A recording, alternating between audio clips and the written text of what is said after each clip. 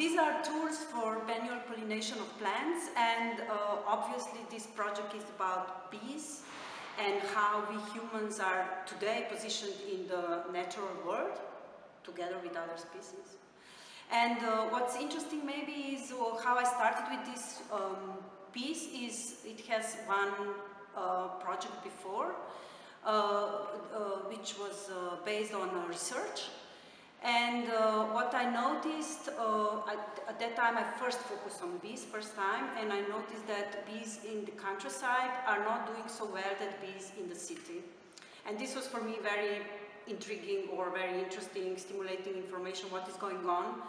And through, through this uh, information, I, uh, of course, started to discover um, that um, pollination of uh, uh, intensive agriculture um, makes um, pollination of plants uh, uh, sometimes problematic and bees are um, picking up this pollen which is uh, poisoned and they are dying in big numbers. So um, uh, this uh, information led me in next step is this project which is talking about what if uh, all or most of the pollinators would die and people would need maybe to think of how to help them or how to replace them because we totally depend on uh, pollination, otherwise there would be soon no nature and no food uh, with that also. We forget many times that a lot of food is um, pollinated by, by,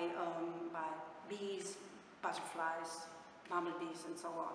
So um, it's a kind of um, humorous uh, interpretation uh, with these tools, but also these tools help people to, I think, to think, but maybe also through time to change their habits to how to behave or how to um, relate to, to nature, natural environment.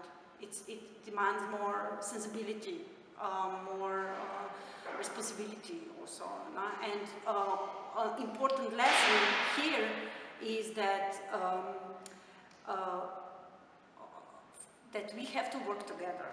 So uh, not only that, uh, like in these times, individual times, but, but as, a, as a, group, we will achieve much better results and much, we will have also much fun, much more fun. Oh. I was long or what?